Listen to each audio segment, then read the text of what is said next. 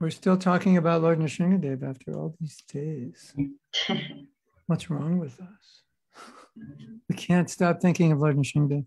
I'm going to get my harmonium. okay. Nrsimha Jai Nrsimha Jai Jai Narasimha Amaderesha Jaya Padma Lokapadma Deha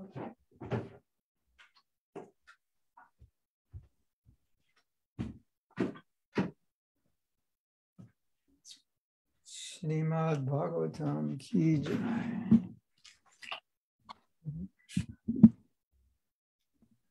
Hare Krishna, Hare Krishna. Oh. We had um, some little Vyas Puja celebrations. Tuvimos una pequeña celebración de Besapuya. Ah, yeah. Silencio, por favor. Um, and someone offered a made an offering, and we wrote a song. the offering was so good, and we created a kirtan from the melody we came up with, so we can sing that.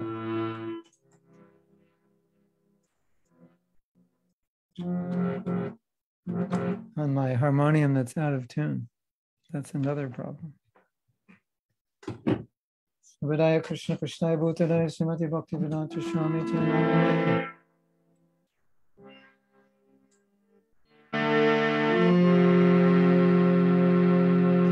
Namaste Saraswati Devi Gauravani Pracharine Yavisesa Paschati Desatana Sri Krishna Chaitanya Bhagavatam Shri Advaita Gadadhara Srimati Gaurabhakta Hare Krishna Hare Krishna Krishna Krishna Hare Hare Hare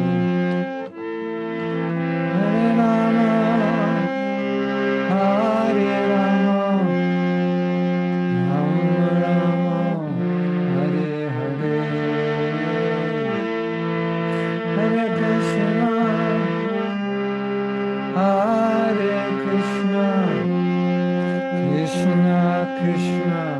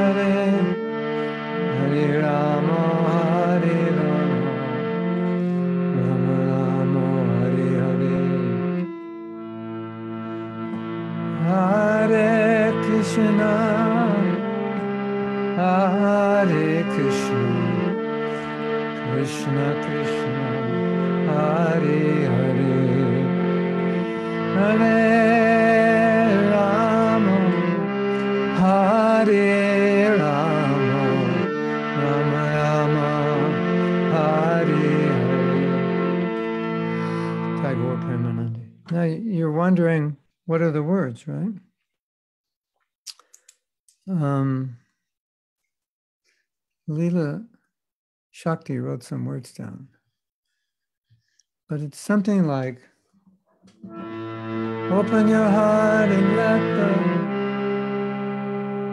the open, yeah, I don't know. Like open your heart and let the mercy in. All answers to your problems will begin. Something like that. Hare Krishna. Open your heart, let the mercy in. All answers to your problems will filter in, will appear.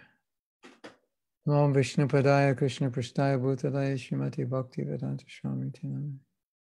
Namaste Saraswati Deve Gauravani Pachani. Sanyavari Well, Gaurapriya, it looks like you got a home upgrade. She's come out of the village into this. Now she's a city girl.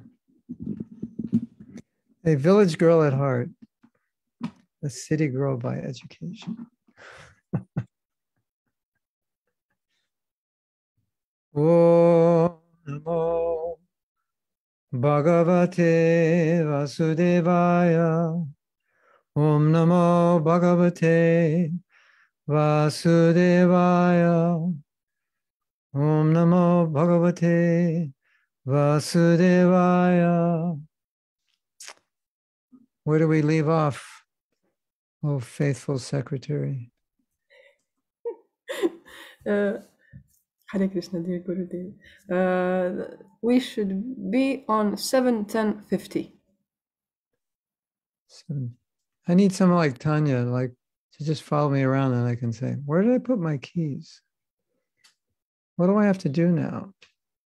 What did that devotee tell me? What's his name? 71050. You know, I think I think the problem is when you teach and study a lot, you lose touch with the actual reality because it's all conceptual. So when you come back to reality, you can't kind of remember. It's like being on a vacation. then you come back from vacation, everything takes a while to readjust to. I come, I like go off in the different worlds of conceptual worlds of philosophy and psychology and Bhagavatam, and it's all not in this world. It's not on this, it's not be here now stuff. So I think that's sometimes contributes to why I forget what I was doing. Yeah, like today, we'll have japa, then I'll have a meeting, then I'll have a meeting, then I'll have another meeting. I'm just living all in concepts. And if I were not a devotee, I would get paid for it. I'd be a professor, get paid to think, which I do anyway. So might as well get paid for what you do anyway, right?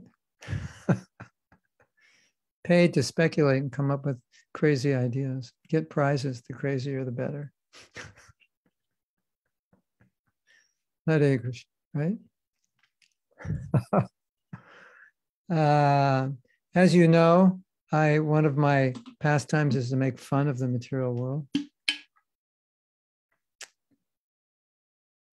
I have a story. It's so funny. It's a true story. Satyananda Maharaj was here. It's been here in Alachua. And he said, Sutapa Prabhu, a devotee in merry old England, told him a story that dog racing is popular in England and he went to a dog race before he was devotee. And the way, I don't know if you know this, I never knew this. The way they get the, the dogs to run is they have a, a plastic rabbit and they put the plastic rabbit, I guess it's um, what remotely controlled. And so they all run after the rabbit. And so this one dog, he was running after the rabbit. And when he finally got close to the rabbit, he saw it was plastic. And he's like, oh, damn, why am I running after a plastic rabbit? So he just stopped. And all the other dogs were running and he's walking. And he said, That's just like us when you come to spiritual life, and you realize you're in the dog race and you realize we're running after a plastic rabbit. It's all illusion. You stop the dog race and you're just like, Why do I want to do this? Why do I want to compete to be the number one dog? You know, in the Bhagavatam, Swavid Varahosta Karai Samstuda Purusham Pushu. There's this verse that people who are like dogs, hogs, camels, and asses will appreciate other people who are like dogs, hogs, camels, and asses. So these analogies are given. A dog is, he just needs a master, so he just works all day for somebody. Hog will eat and have sex all day. Camels will chew thorns and eat their blood, and they think it tastes good, but it's eating their blood, and that's compared with sex because you lose your blood in the form of semen. And asses also, they work very hard for some grass, but you can get the grass anywhere, but they think they can't. So if you're not a dog, if you don't want to be a dog, hog, camel, or ass, you're trying not to be, then people are going to say, What's wrong with you? You're not a dog, hog, camel, or ass, like all of us. If someone says what's wrong with you, I would take that as the highest compliment you could possibly get. It just is. It's a great compliment. If no one's ever said what's wrong with you, just get married. They'll say it. No problem. But aside from your husband or wife, if no one uh, has ever said what's wrong with you, you must be doing something wrong. And one time, not one time, many times in our preaching, we would be criticized. And there would be bad reports in the media. And we, we don't want these things. But Prabhupada said they're feeling the weight of the Hare Krishna movement because they're complaining. We see people everywhere. Why did you get a job? What are you contributing to society? You're just parasites, you're just nuisance. All our kids are becoming Hare Krishnas. You're taking them away from their families and their former religions. And Prabhupada would say, they're feeling the weight.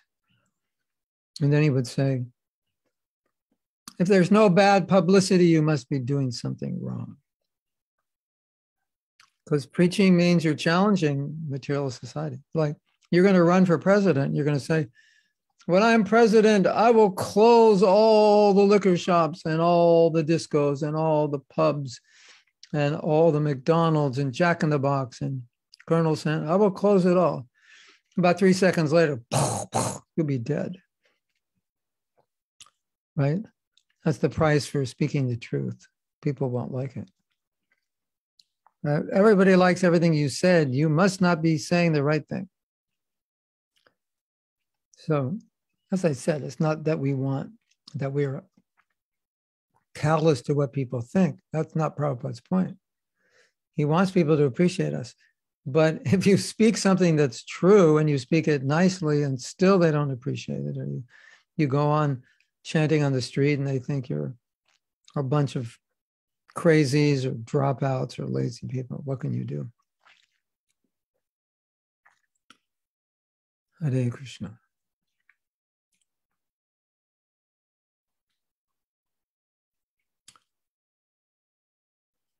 I've, I've written about my coming to Krishna consciousness.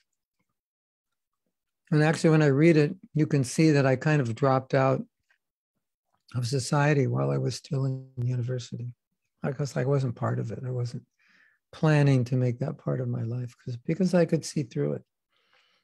And when you can see through something, it's very hard to participate in it. And that's why Lord Brahma created different illusions.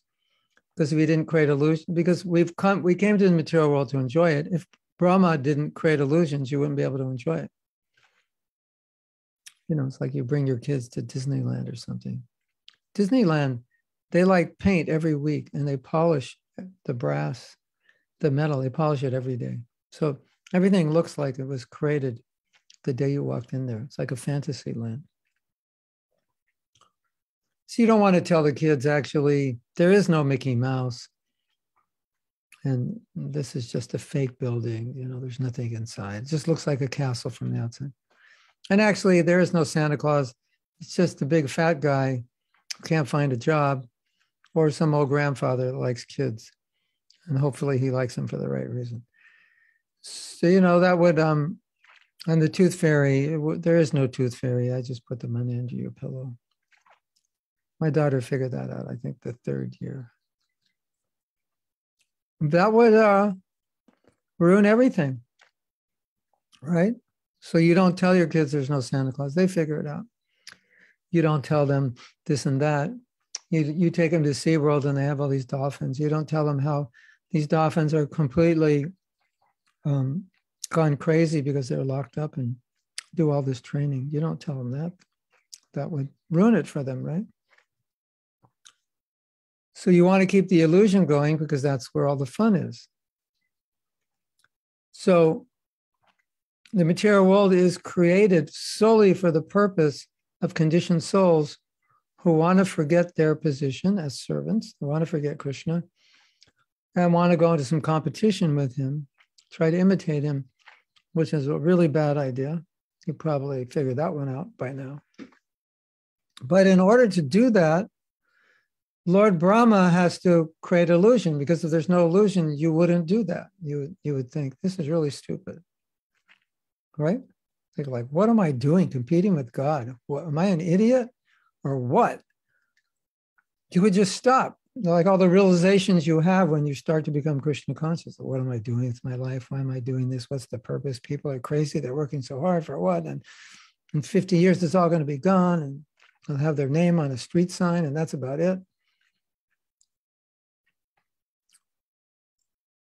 So when illusion is dispelled, then naturally becomes difficult to engage in material activity, right? Because you see it's pointless. That's the price you pay. So I was reading my biography. It's not a, bio, it's not a biography, it's a, it's a book for non-devotees, but I was telling them about my life in university. And I, I was just reading it this morning because we're going to do some videos on it. And Gopi Jivan is here, we're going to discuss it. So I was reading it before class, just to prepare for the meeting. And as I was reading it, it was, it was like, yeah, you were in university, but you had already dropped out. You already figured it, even before you read Bhagavad Gita, you, you figured out it wasn't right.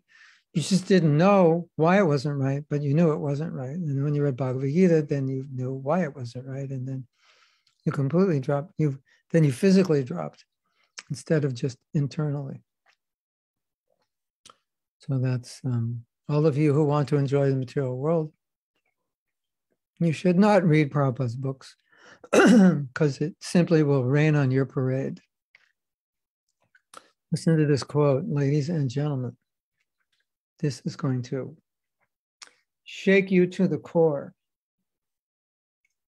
I just I just heard this yesterday. This was told to a devotee by Prabhupada. The devotee's name is Vasudev. If you don't read my books, you're putting your life in danger. If you don't read my books, you're putting your life in danger. Anuradha, can you write that down And tell Radhapriya to put it on Facebook. That's a quote from Prabhupada. If you don't read my books, you're putting your life in danger.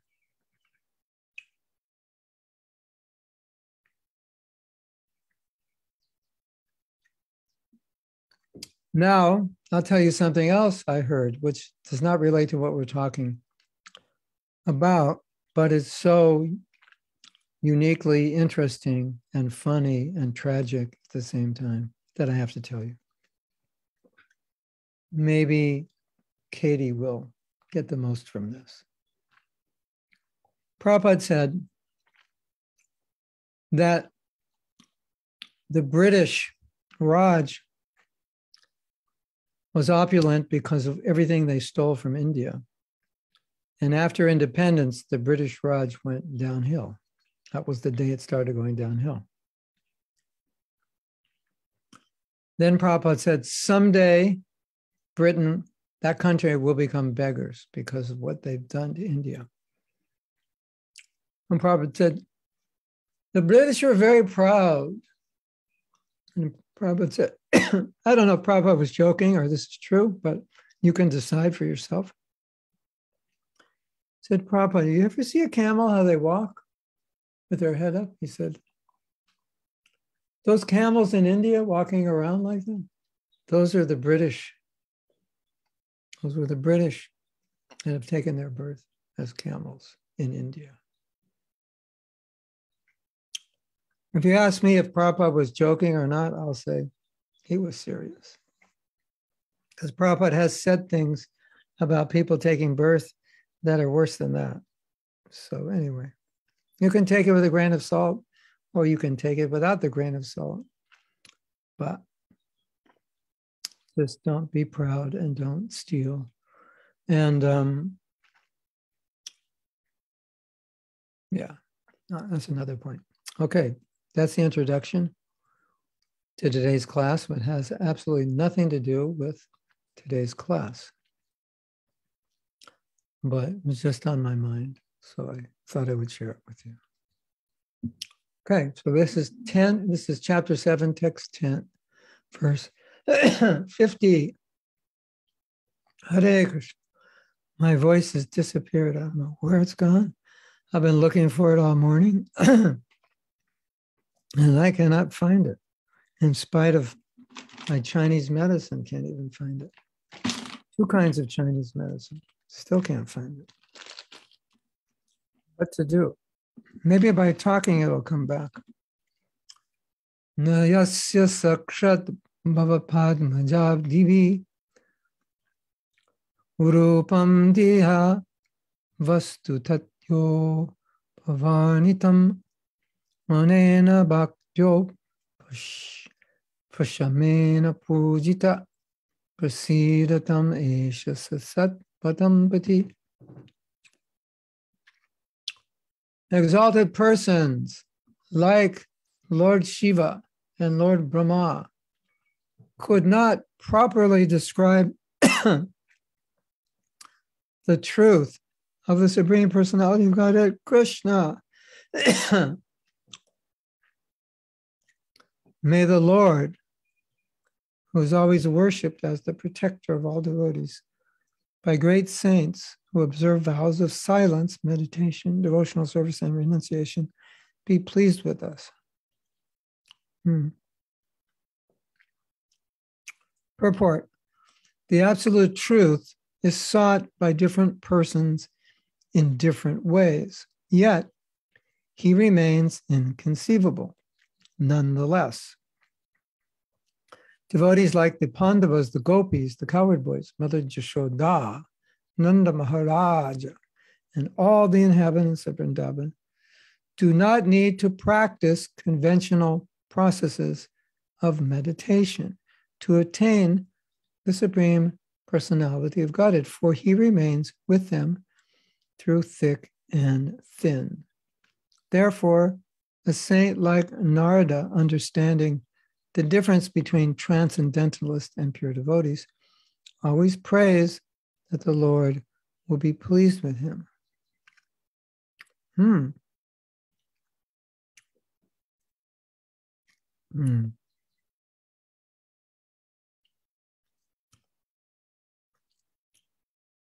hmm.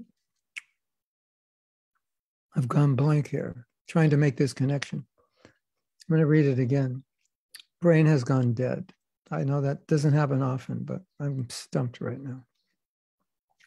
So uh, the verse is saying, Narada Muni is saying, Lord Shiva and Lord Brahma cannot properly describe you. But may you, the Lord, who is always worshipped as the protector of all devotees by the real great devotees, great saints who observe vows of meditation, silence, devotional service, be pleased with us. And then Prabhupada says, glorifies the residents of Vrindavan who just love Krishna and therefore says, Narada, a saint, understanding the difference between transcendentalists and pure devotees, always prays that the Lord will be pleased with him. Meaning that he wants to be like the residents of Vrindavan, not just like a meditator. So we have this picture in front of us of Vrindavan, and we have the devotees of Vrindavan. And as we said, these devotees are, are examples of what is bhakti. Specifically, they're showing us or they're dispelling our misconception about what love is. Because we use that word so cheaply, don't we? Oh, I just love that kirtan. What does that mean? A lot of times it means I like the melody, gave me a lot of pleasure. Well, what about the name? Oh, name's okay, but the melody, that's what I love. Right? Sometimes that's what it means. I love this halava. What does it mean? My tongue is liking the taste of this halava. That's what it means. It's, it's supposed to mean I love the fact that this halava was made so well that Krishna enjoyed it. That's what it's supposed to mean, right? So you taste this halava, and wow, Krishna must have really enjoyed it. But instead, we say, wow, I really enjoy it. I'm loving this halava. So now, when we hear about the residents of Braj, sometimes we have this problem, like figuring out how what they're doing is love, because we're thinking, well, if I did that, it wouldn't be love. Like the gopis are kissing Krishna. Like, how is kissing Krishna love? And the gopis say, Krishna, we want to touch your lips. We want you to kiss us. It's like, how is that love? That just sounds like what I want to do with some girl. Yeah, that's the problem. So when you when you look at the leelas of Krishna and you live a life of austerity and sense control, there's there's a good chance you'll understand it. But if you live a life of too much sense gratification and material comfort, it's a very good chance you'll completely misunderstand it as something material. So, I was speaking with Sacinandana Swami, and he was saying that um,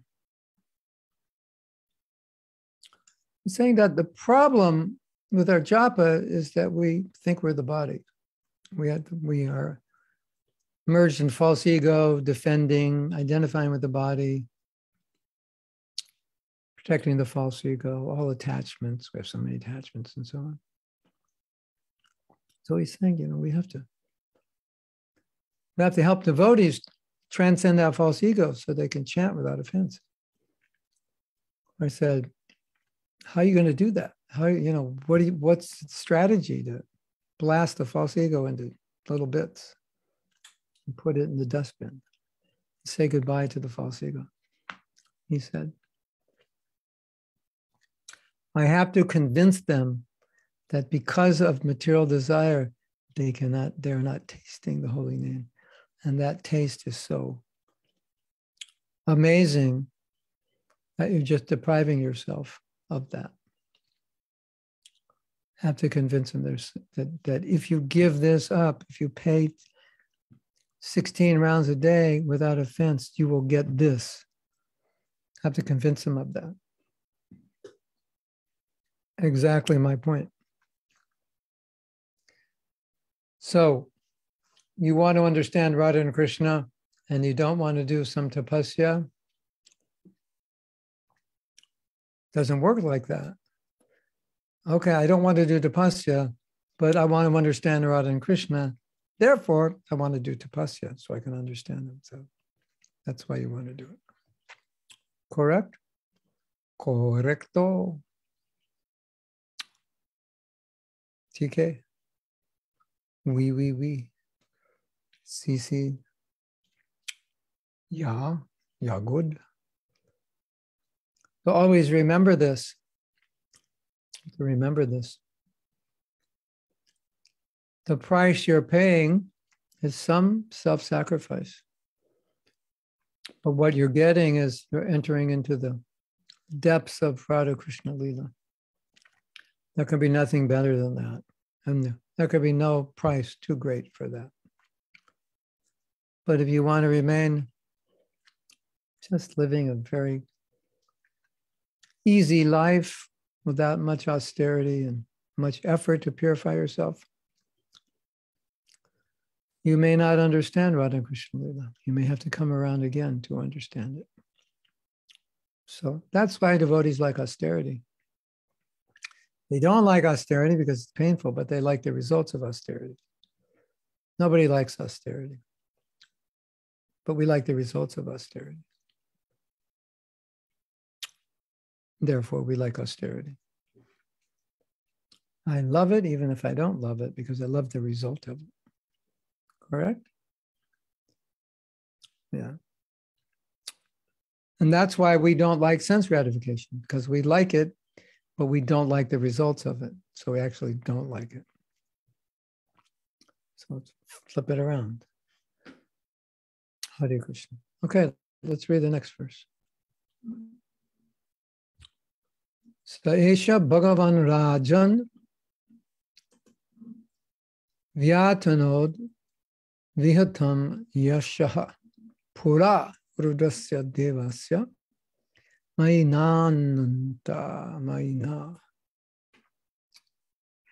My dear King Yudhisthira, long ago in history, a demon known as Maya Danava, who was very expert in technical knowledge, reduced the reputation of Lord Shiva. In that situation, Krishna, the Supreme Personality of Godhead, saved Lord Shiva. That's an interesting verse for all the, those who think Shiva is the Supreme.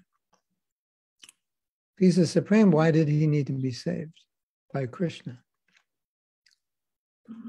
Lord Shiva is known as Mahadev, the most exalted demigod. Thus, Vishwanath Chakravarti Thakur says that although Lord Brahma did not know the glories of the Supreme Personality of Godhead, Lord Shiva could have known them. This historical incident proves that Lord Shiva derives power from Lord Krishna, the Param Brahman. So, okay, obviously, you can't understand Krishna's glories. At the same time, if he wants you to understand them, then you can, because you can understand anything he allows you to understand. Prabhupada was asked, Srila Prabhupada, do you know? Do you know everything? Prabhupada said, I know everything Krishna wants me to know.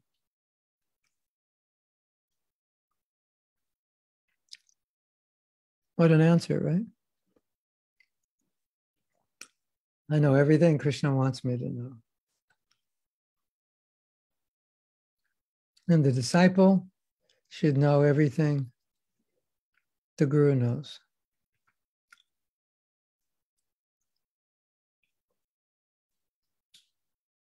So, mm, yeah. So this purport Prabhupada saying, Lord Shiva is getting his power from Lord Krishna. So we're all, as conditioned souls, trying to spread Krishna consciousness. We the first thing we need to understand is that it's not a material process. So you don't succeed in spreading Krishna consciousness solely by being materially qualified. We we should be materially qualified in what we're doing, no doubt.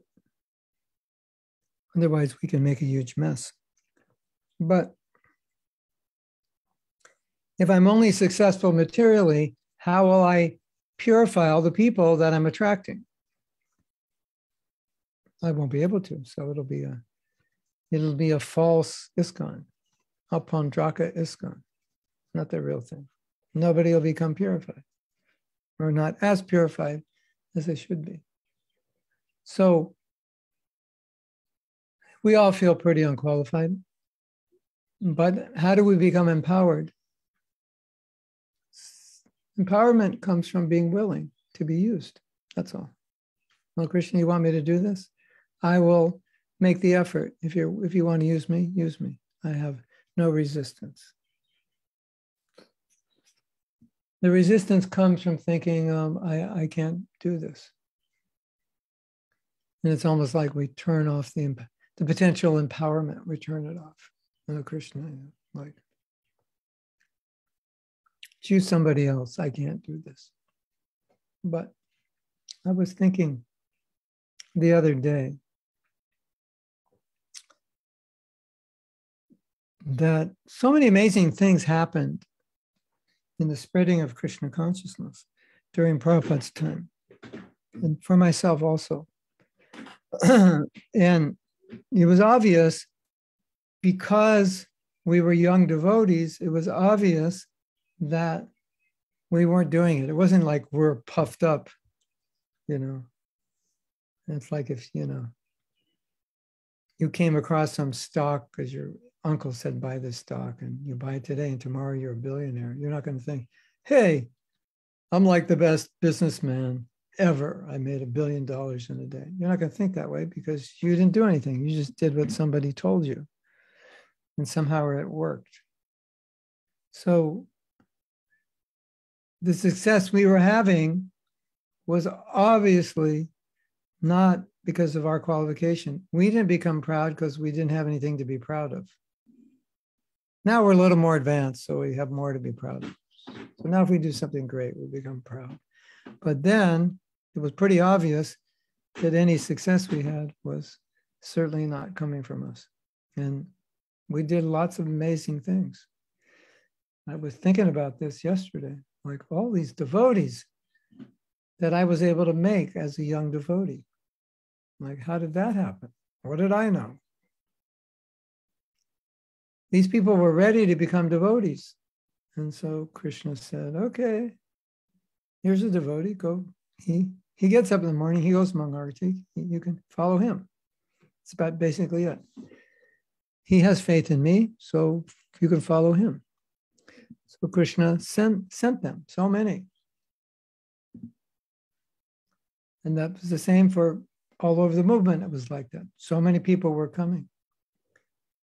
Um, even we're very young devotees, but so many people, come. Krishna sees, so here's someone who'll take care of them. Let's send these people. Now, all these people in your city who weren't interested in Krishna, now that you're here, ready to take care of them, all of a sudden they're, they're going to be interested in Krishna.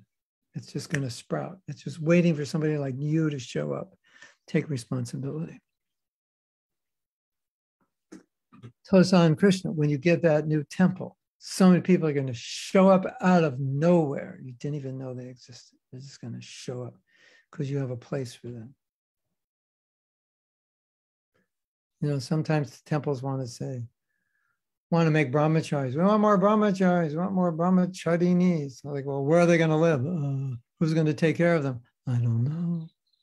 Well, Krishna's like, no, not in your temple. We're not sending any. We're sending them to the temple that can take care of them. So it's not like you're better or worse. You're just more willing and more prepared. But then Krishna uses you. That's our whole philosophy, right?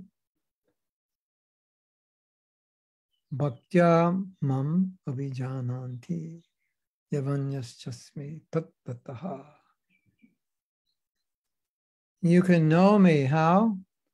By studying Vedanta Sutra. And that's not what Krishna said. You can know me by being a devotee. That's it. That's all.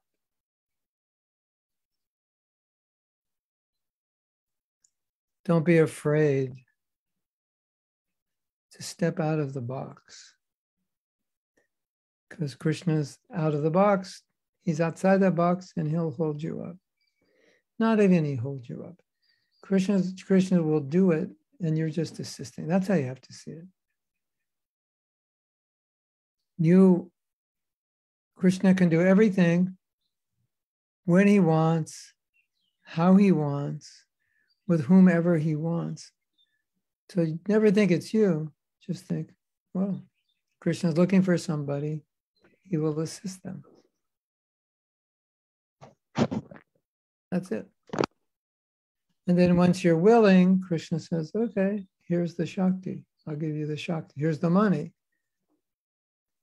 Here's the strength. Here's the intelligence. So many things. Then it happens because because you're willing to help. And he's he wants the job done, so he's got to help you, right? Isn't it? So don't be afraid. Oh, it's so much fun to step out of your comfort zone. All the fun is out of the comfort zone. It's no fun to be in the comfort zone. Step out on the ledge and take a jump. It's exciting. But what if Krishna doesn't catch me? Well, at least you tried. At least you followed my orders. I'll take response. If you if you break a leg and end up in the hospital, you can blame me. I'll take responsibility. But my Guru Maharaj told me to jump off the cliff, and that's what I did.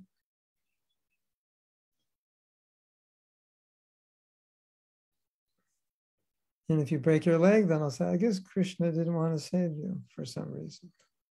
No, that's not going to happen. As long as you're willing, he'll save you for sure.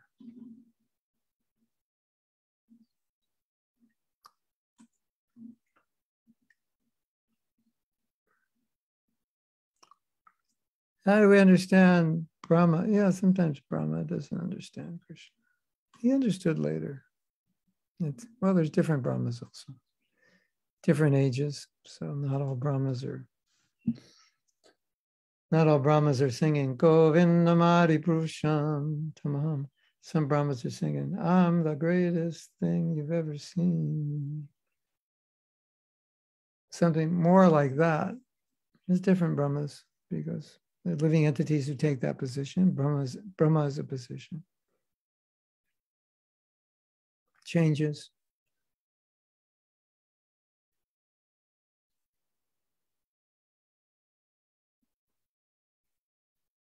That's a hard position. Be humble.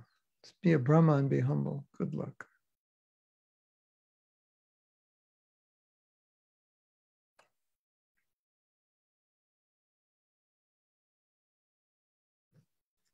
Oh, Govinda. This is the problem when I get up early. It's so nice to get up early because I have so many things that I have to work on that require brain work. I'm like quiet and I have to get up early. But now it's like seven hours after I got up, and I'm like, that's the problem. Hare Krishna. What to do? Inspire me, wake me up ask some provocative question like controversy. Give me a controversial question. Well, some people say this, and some gurus say that, and my temple president says this, and the GBC says that, and you say this. So, what is the truth? Yeah, some question like that. That ought to wake me up. Okay, we'll go to text 52. And somebody out there is thinking, if you don't wake up reading Bhagavatam and put you to sleep, I feel sorry for you. And they're right. Text 52. Rajovacha kasmin karmani devasya mayohan jagad ishituhu yatako pachita kirti krishna krishnananena yathayatam kathayatam Yudhisthira Maharaj said, For what reason did the Dima Mayadanava vanquish Lord Shiva's reputation? How did Lord Krishna save Lord Shiva and expand his reputation again? Kindly describe these incidents. now it looks, it appears that we have finished talking about Lord Nrsingadev, right? This morning I was thinking we could read about Maharaj Vena. And the reason I was thinking of that is there's a lot of Maharaj Venas out there right now. Maharaj Vena was a real rascal. Uh, rascal would be a nice word, compliment for him. But I think he embodies some of the qualities of the leaders we're seeing today in the world. And I thought it would be interesting to read about him and how the Brahmins dealt with him. What do you think? Because this Nrsingadev story is basically over.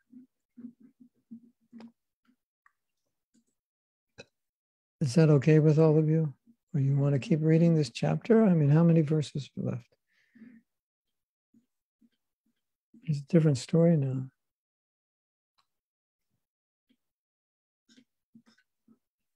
Hmm. I think we've, I think we're okay now. The story of King Vena. This is from the fourth canto, chapter 14. The reason, the reason I'm, I'm thinking now that a lot of you need to hear the Bhagavatam rather than me just rambling on with my jokes about how bad everything is and how stupid people are and like that. I mean, that's helpful. But I think we also need to hear the Bhagavatam, at least as the basis, and discuss it more because it's our scripture.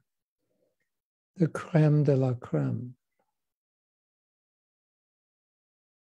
Right? You agree, Hemant? We need to hear more about Bhagavatam because it takes some time to develop a attachment for it. And it also, I think, for some people, it takes time to understand the relevancy of it. I think, like, what is this? Like stories about this Vena who lived billions of years ago. Like, what does it have to do with anything? I'm just trying to pay my bills. But as you read it more and more, you see that actually it's all relevant. Maybe not obvious in the beginning, but we'll try to make it obvious and we'll try to discuss the relevance, relevancy of it. Okay, so this is Srimad Bhagavatam, Canto 4, Chapter 14, text number 1. Maitreyo Vacha Brigvadhayaste Munayo Lokanam Shemadarshinah Goptaryasatin Vainrinam Pasyanta Pashusham Yatam. Hmm.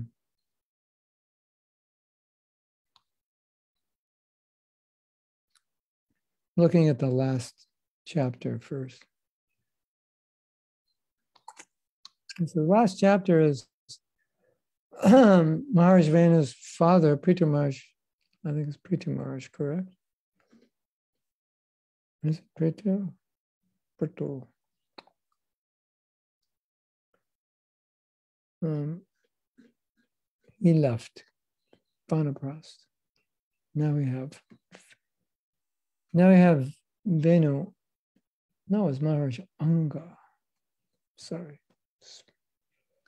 The great sage Maitreya continued, O great hero of Vidura, the great sages headed by Bhrigu were always thinking of the welfare of the people in general. When they saw that in the absence of King Anga, there was no one to protect the citizens of the people, they understood that without a ruler, the people would become independent and unregulated. So Maharaj Anga went he left.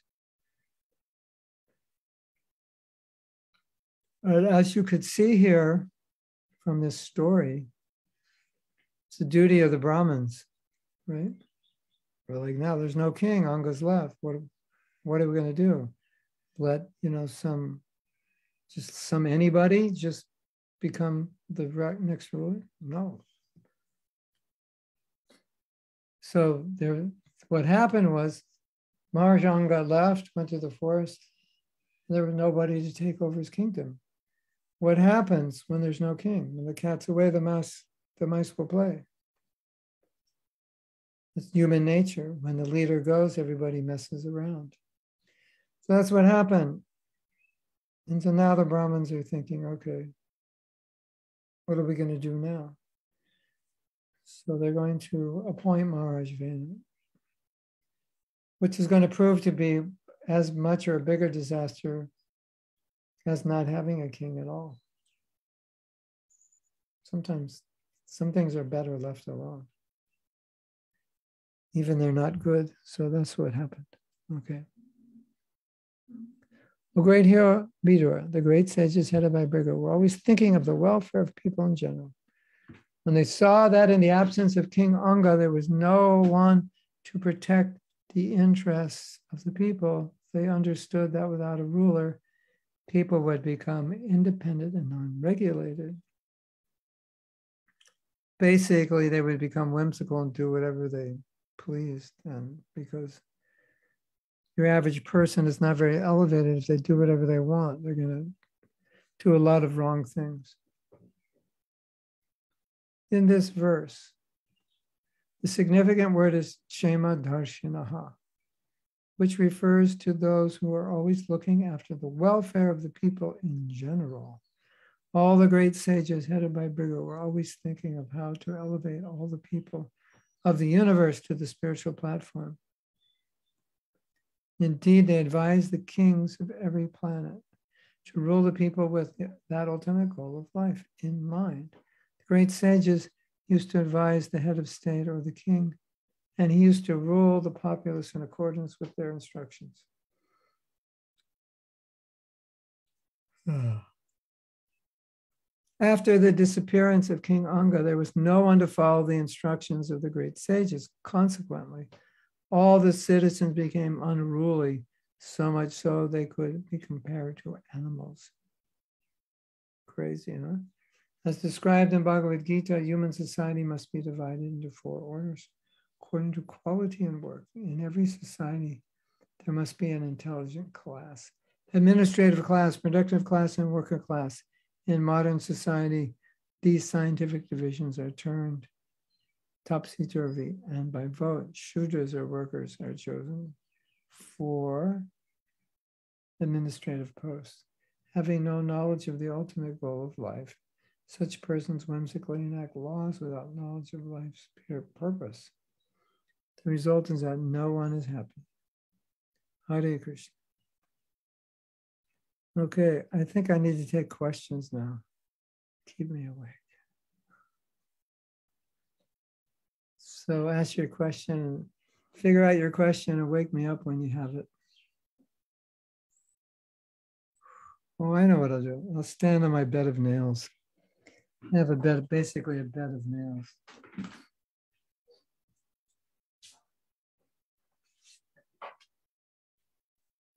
This is my bed of nails.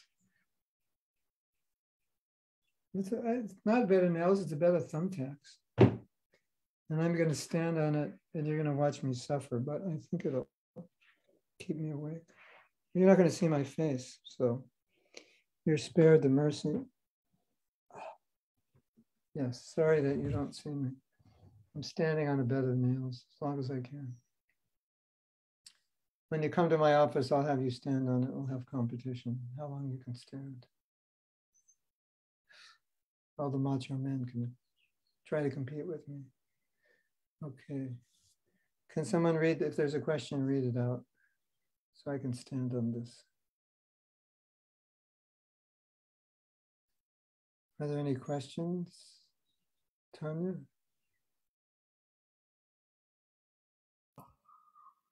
I don't see any questions. There's just my comment and uh, and Katie's comment. Let's hear your comment. My comment was that uh, my father told me that there was no Santa Claus when I was three or four. you know, okay, I'm going to get off this, but I don't think most people can stand on this for more than three seconds. You notice how long I've been on it, right? This is the test of a bona fide guru, how long they can stand it. Just want you to, just want you to know that in the Mahatma Purana. You know how um, Prabhupada would say, you know, these gurus can do things, you know, lay on a bed of nails. You know, this is not, This is not the qualification.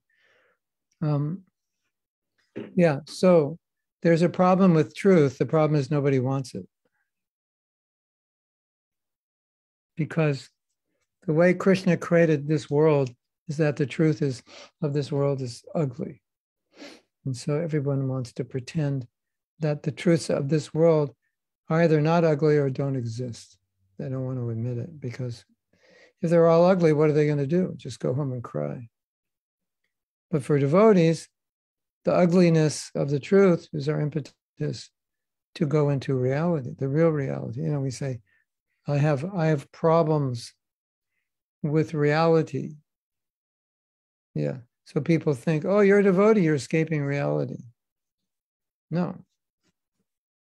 We're entering reality because we have a problem with the so called reality. And you also have the problem, but you haven't admitted it, which is why you're not trying to escape it. You're trying to enjoy it. We realized it was a dream.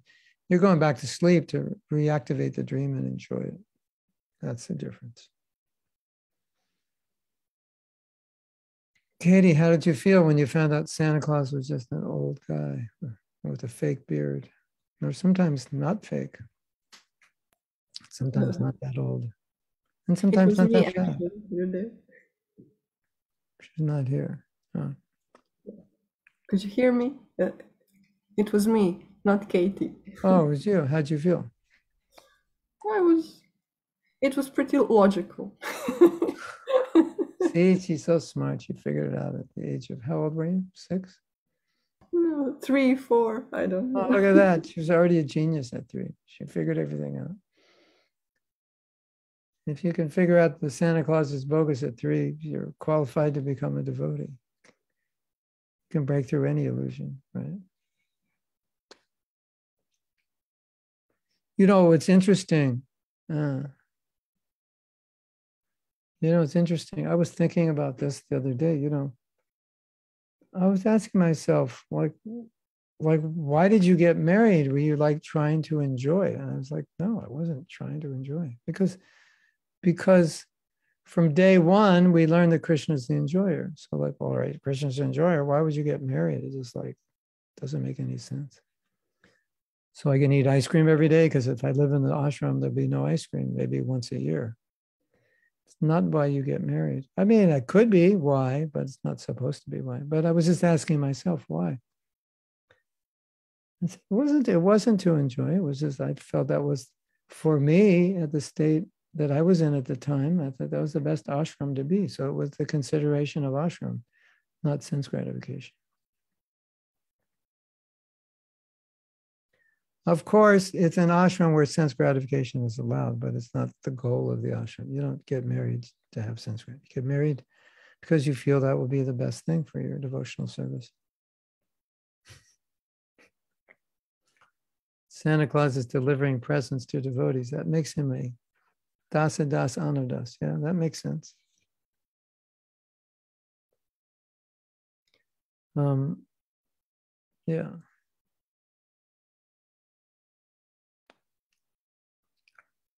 So, in this way, in the life of a devotee, there's no sense gratification. Oh. So, when your kids are like one years old, and Hemant says, Tell them early, you're like, they go, Let's go see Santa Claus. You, go, you believe in Santa Claus? What's wrong with you? Don't you have a brain? There's no Santa Claus. That's just some fat guy.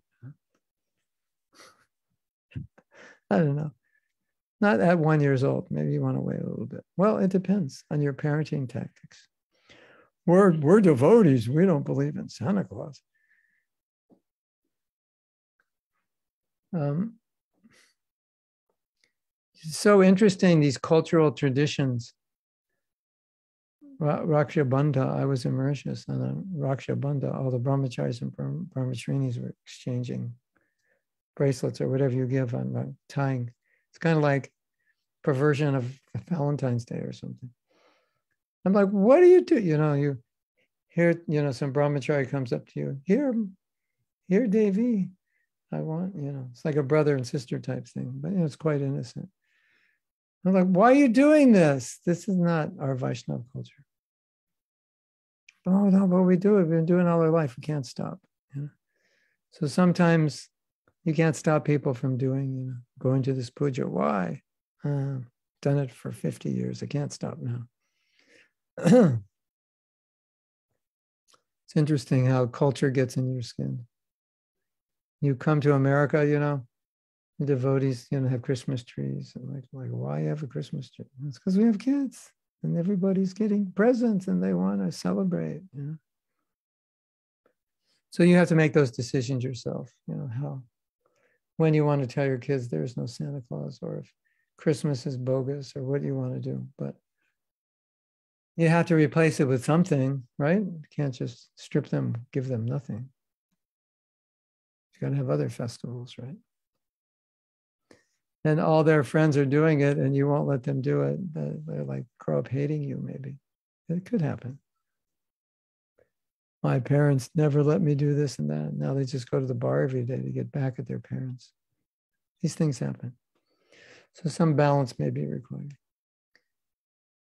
And, you know, it really wasn't Prabhupada's idea that he'll come to the West and completely just change everything everybody does from A to Z in their culture It really wasn't his point. It was add Krishna in it. We have a comment from Diane Jackson. They came to school and announced there is no Santa. yeah, there must have been a riot in school.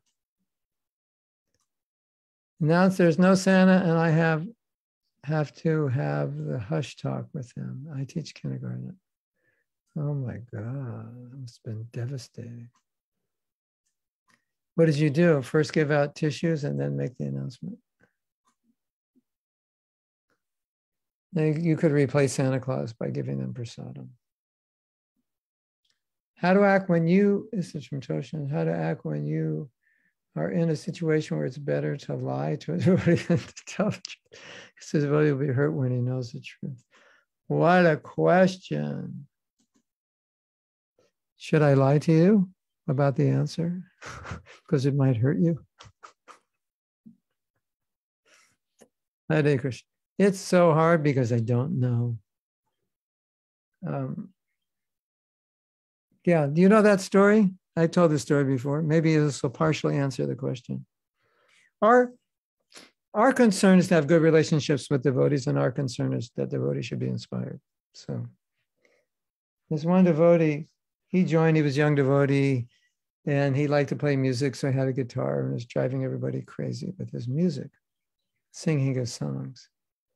Oh Krishna, I love you, cause you are so blue oh Krishna, you are, you know, it's like kind of really, you know, new bhakti songs. So they went to Prabhupada complaining. He's driving everybody nuts with his guitar and his songs. So Prabhupada said, Call him, I will talk to him.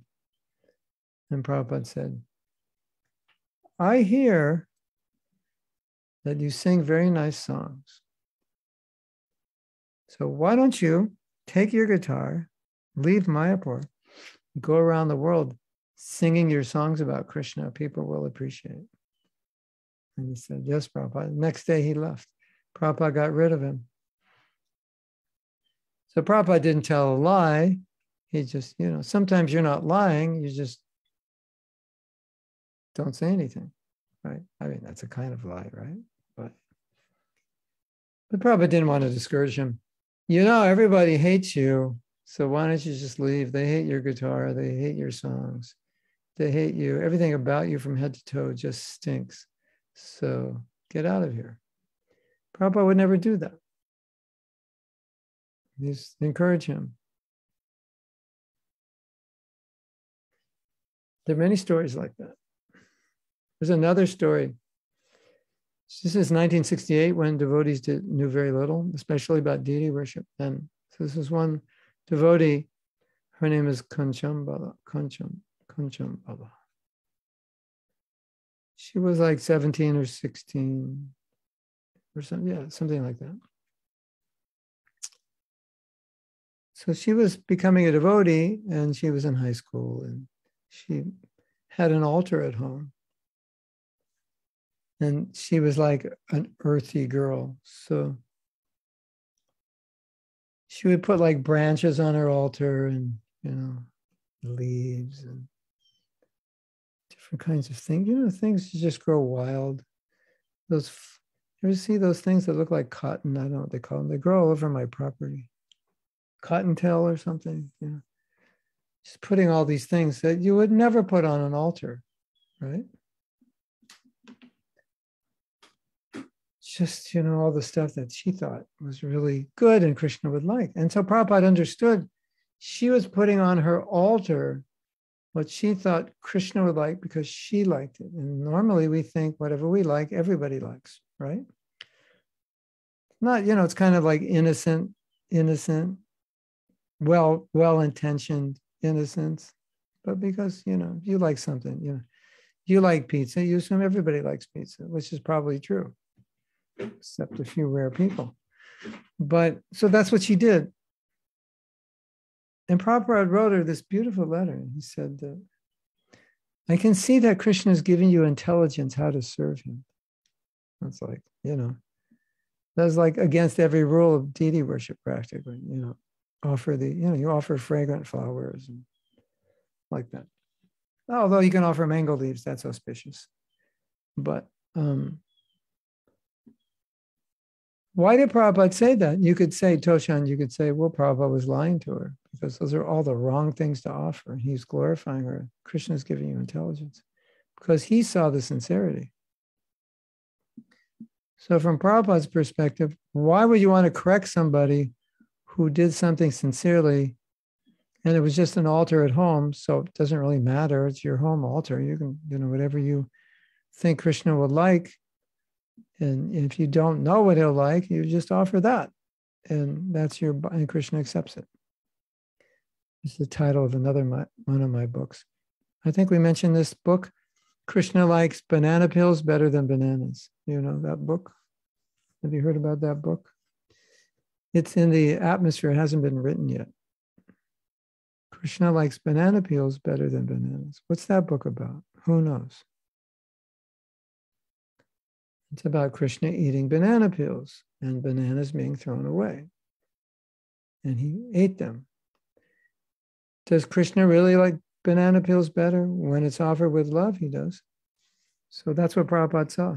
If Krishna can eat banana peels, Kanchan Bala can offer pieces of bark and cottontails and twigs and leaves on her altar because that was bhakti. So um, I also heard, I never heard directly from Prabhupada, but one devotee told me that sometimes when you're teaching people, there's an art of knowing what to say and an art of knowing what not to say. So, you know, my joke, Bhakta Bozo gives the Sunday feast, and he only talks about three things. Number one, women are less intelligent. Number two, they didn't go to the moon. And what's number three? I forgot. So there's third one. Anybody remember number three?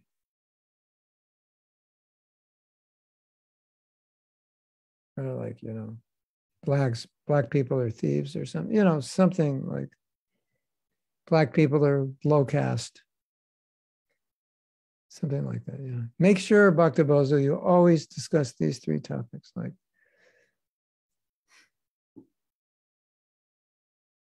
you know, it's upsetting to women to hear that, that hear someone say that they're less intelligent and, you know, go through Prabhupada's lectures. I never heard him say it in a lecture. You know, it's there in some books, and we don't even understand it that well in the first place. You need a whole lecture just to explain it, what it means. And at the end of a lecture, you just, you just say, well, you're all devotee women, you're all the most intelligent. And everything's mixed up in Kali Yuga anyway after you try to explain what it means, which eventually you come to realize doesn't mean a whole lot in Kali Yuga. Everybody knows the differences between men and women anyway. Um, and you know, um, so Prabhupada didn't go there. He spoke what he had to speak. He understood his audience. So you want to give me the example, Toshan? Or is it confidential? Because it's I can only answer answer generally. Um, is it um, well if it's a surprise party, you don't want to tell them, right? Surprise birthday party, definitely. You're having a surprise. I hope you're not having a surprise party. Me? Put on a surprise party? Are you kidding? I'd do that. And then she gets home from work and ah, 5,000 people in the house. Yeah. Of course, you have to lie for that. Anyway, I won't put you on the spot if you don't want to say. But the principle is you want to inspire someone and you don't want to discourage them. At the same time, you don't want to um, deprive them of knowing what they need to know if they need to know it, because that would be unkind, even though it might be hurtful to them. But if they need to know it, Prabhu, I just want to tell you, it looks like you're about to walk off the roof of this house, and we're on the 87th floor. Probably a bad idea. Don't tell me what to do. You know, no, I'm going to tell you what to do because if I don't, you're going to die. So, yeah, in that case, just tell them the truth. But if they're just walking slowly there to say, hey, we've got some pizza. You want to come inside? Oh, sure. Okay, no problem. You don't have to tell them they're about to walk off the roof. So you want to be expert at what inspires people. That's that's the idea. So in the early days of the movement, when the devotees, you know, Prabhupada was giving, he started gradually giving some rules. Because in the beginning, he didn't give many rules. So he's gradually giving some rules. And devotee said, Prabhupada, are there more rules to follow? Prabhupada said, Yes, yes. But if I told you all the rules, you would faint. So many of them, and it's so difficult to follow. So he didn't tell us, told us what was important.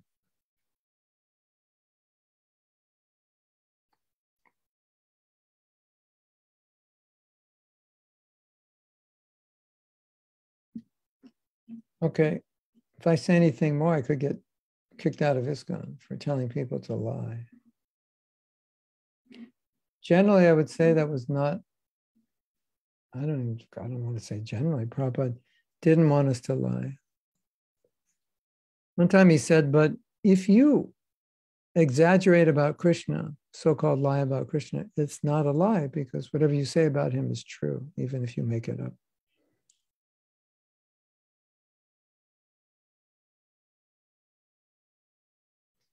Because he's everything and unlimited. So whatever you say would describe him. And then this whole conversation actually came up during Prabhupada's time about being honest and truthful.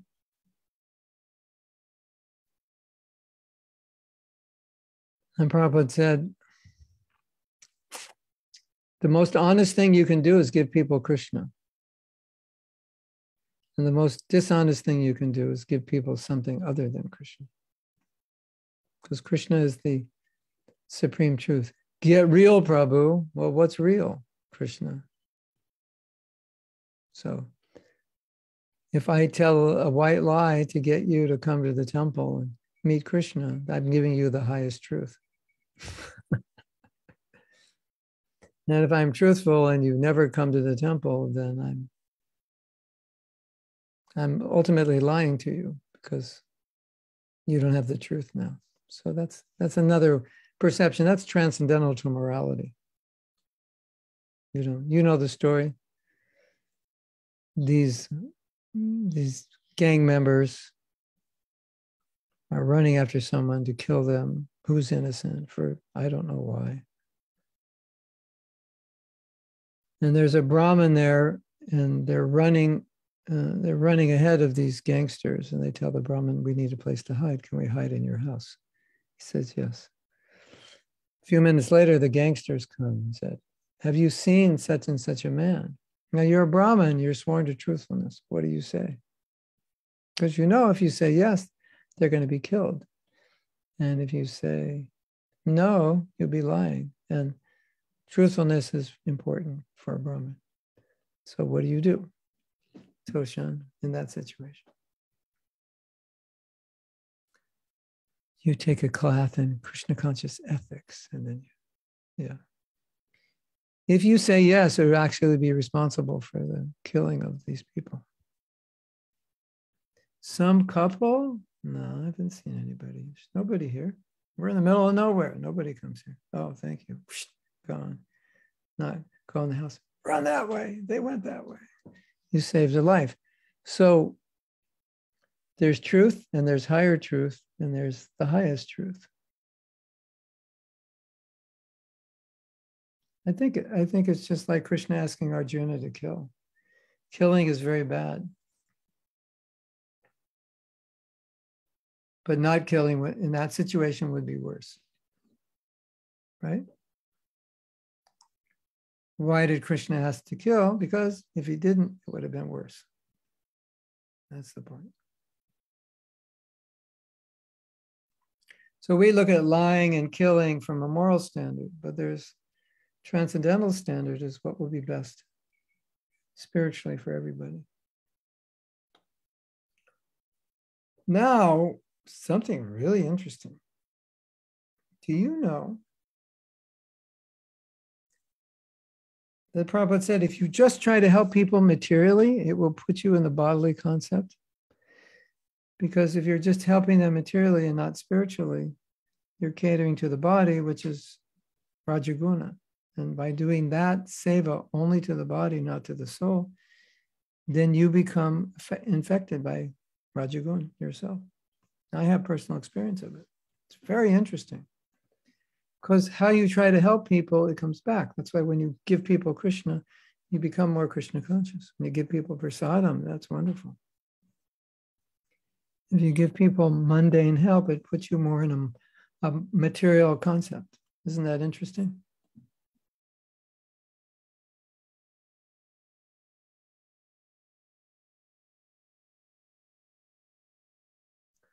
So just like Prabhupada said, we should feed people within a 10 mile radius of the temple. Nobody should go hungry. Of course, it's with prasadam.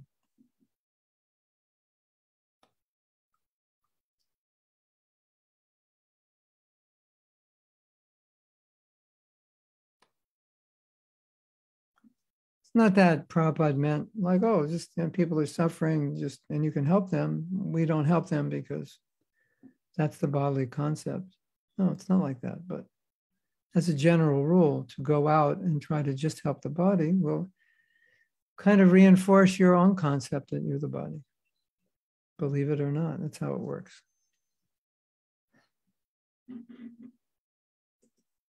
Okay.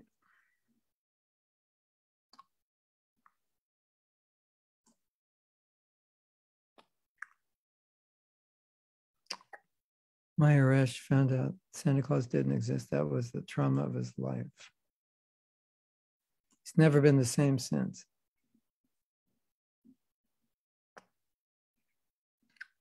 So Diana Jackson is answering my question, which I forgot what it was. What do you tell them? Or do you lie? Or she said, I let them know people believe different things. Hitler was nice. He's probably nice to his cat, right? And his daughter.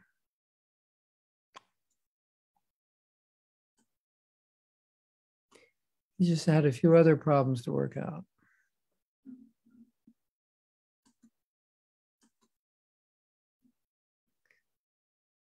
Yeah, these are these are difficult issues that need discussion.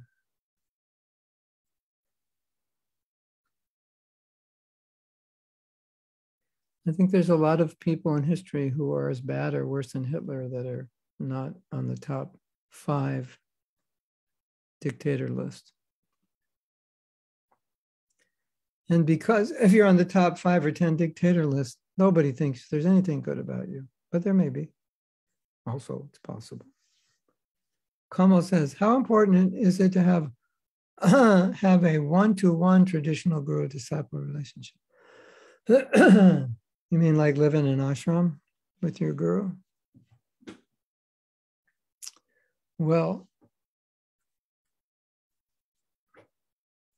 one, one devotee asked Prabhupada, she was a book distributor.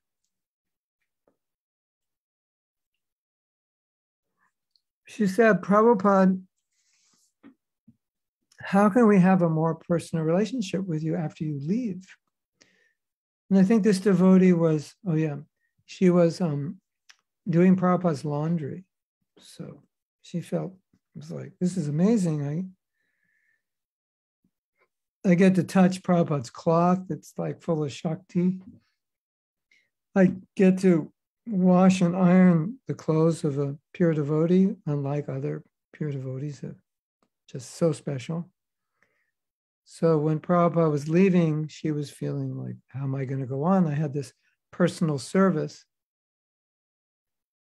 And, and she was a book distributor. And no, so when she asked the question, someone said, Prabhupada, she distributes books. And Prabhupada said, You continue distributing books. That was his answer for personal relationship, personal. So the traditional model, you know, we are Paribrajakacharyas, itinerant preachers, we move around. So most gurus are not in one place. So you wouldn't be able to have that traditional relationship. Whatever that traditional relationship means, but as far as we understand, it means being in the ashram with the guru. So we don't even have a choice unless you have a guru in an ashram who doesn't go anywhere and you live there. So we can broaden the question. I think what Kamal meant was how important it is to have this close one on one. Depends on the devotee what they need, but that can degrade into some kind of weakness where the devotee can't make a decision on their own can't think for themselves. So they depend too much on their guru. So that's not healthy. But main thing is instruction and uh, yeah, at least I'm there when you need me. You have a, we have a digital traditional relationship. We can call it that. DT, we have a DTR. Kamal and I have a DTR, digital traditional relationship. But how traditional is it? Well, the base, you can say, okay, say the basics of it are traditional. All right. I'll surrender to that.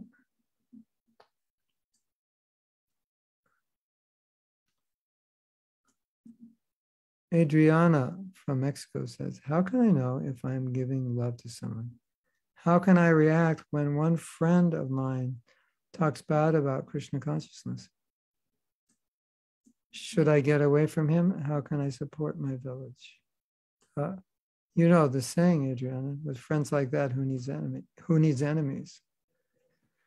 When you're here's the good news and bad news, depending on how, what angle you look at it and who you are. But well, you're trying to become Krishna conscious, you kind of have to do a reevaluation of friends and enemies. I mean, I don't know if you have any enemies, but a reevaluation of friends because you will realize that some friends are very bad for you, toxic for you. But before you were a devotee, they weren't because you were not trying to be pure. Now that you're trying to be pure, you realize that their influence is bad. So the answer to your question is it depends on the influence people are having on you.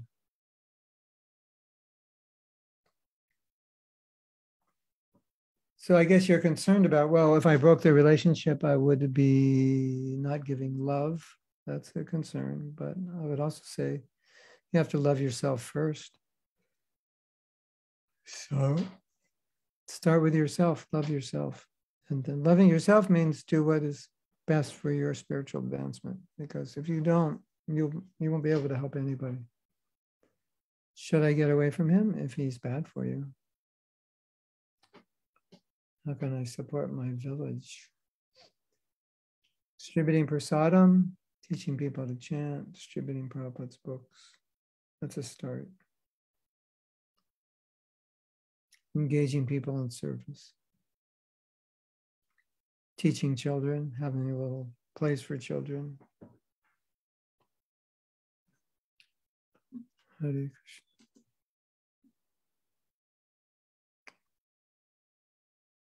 Nanda says on guru disciple relationship topic. You want to ask a question?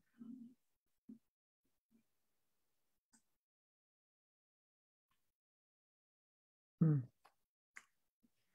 Is any substantial difference between the relationship of guru disciple siksha diksha? The, in my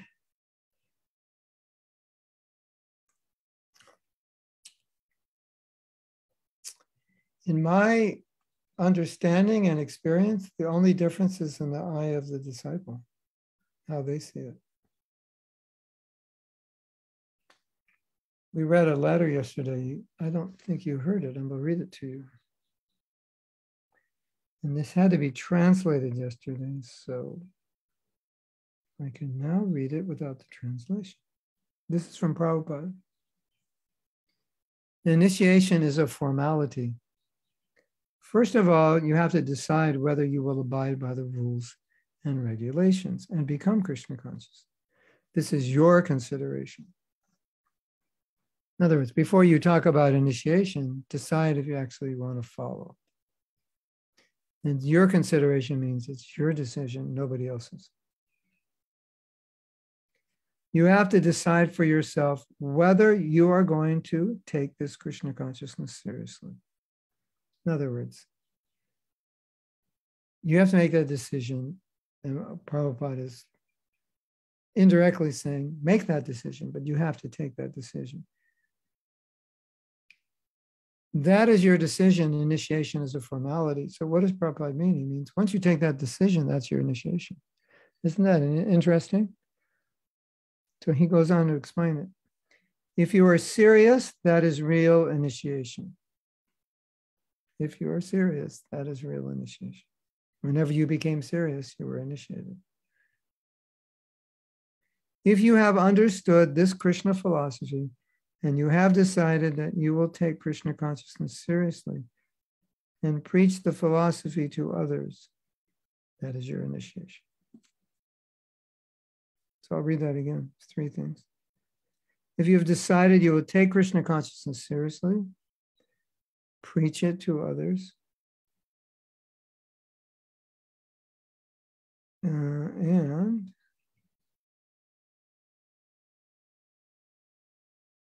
That is your initiation. Two things. If you have decided to take Krishna consciousness seriously and preach to others, that is your initiation. So basically, Prabhupada saying once you become serious, then you're actually initiated.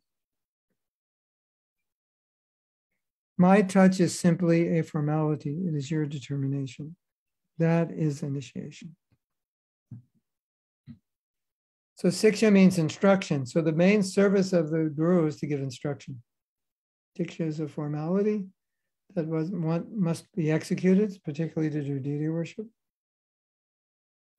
Um, it's a facility to make vows and connect. But in the course of your progress, there may be gurus that play a very important role. And sometimes they play a more important role, like with Bhaktivinoda Thakur. Jagannath Das Babaji played a much greater role in his life than did his Diksha Guru, Vipin Bihari Goswami. Now I have to end class, everyone, and I will say good night to you all. Sweet dreams. Um, I made it. I made it for an hour and a half. You should be proud of me. And I kept my eyelids open.